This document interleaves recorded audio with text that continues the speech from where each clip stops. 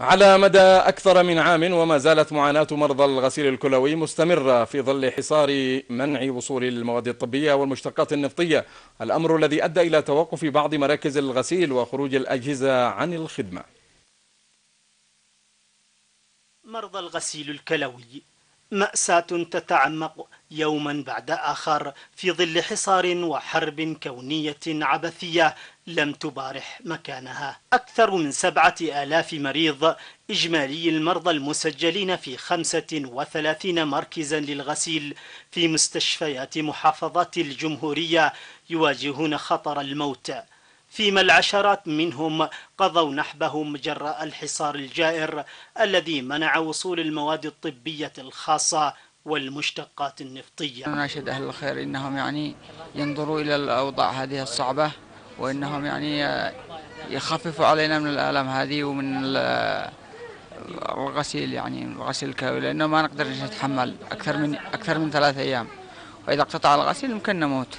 هذه مريض وابني مريض. أنا هذه بالعربية ذي.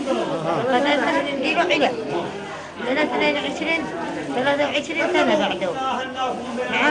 عام ونيف من القتل والتدمير والحصار سجلت فيه وزارة الصحة ما يزيد عن 30% لعدد المرضى مقارنة بالسنوات الماضية.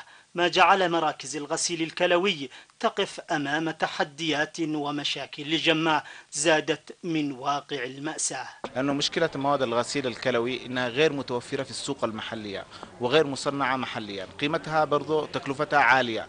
وفي هذه الظروف الراهنة الآن في الوقت الحالي في الظروف الراهنة هذه بسبب الحصار الموجود على البلاد إيش السبب إنه تكلفتها ارتفعت أكثر؟ بنقلها بسبب الحصار وبسبب التأمين إنهم يشتروا تأمين يكون موجود. كذلك النقل ارتفع كان إيجار النقل إيجار النقل برضه كمان مرتفع للمكان اللي يكون في فيها.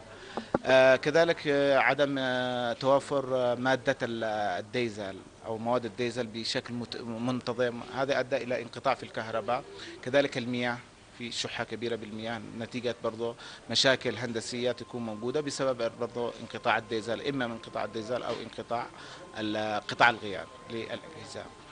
كذلك أنا أقول يعني أنه في مراكز غسيل موجودة في مستوى الجمهورية تعاني من مشاكل أخرى غير انقطاع المواد ألا وهي قطع غيار الأجهزة الطبية.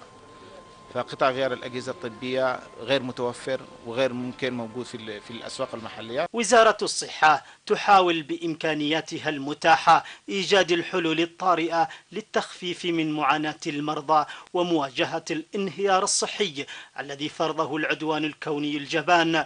وعبر التعاون والتنسيق مع منظمات دولية لها دور إيجابي وإنساني في تخفيف المعاناة.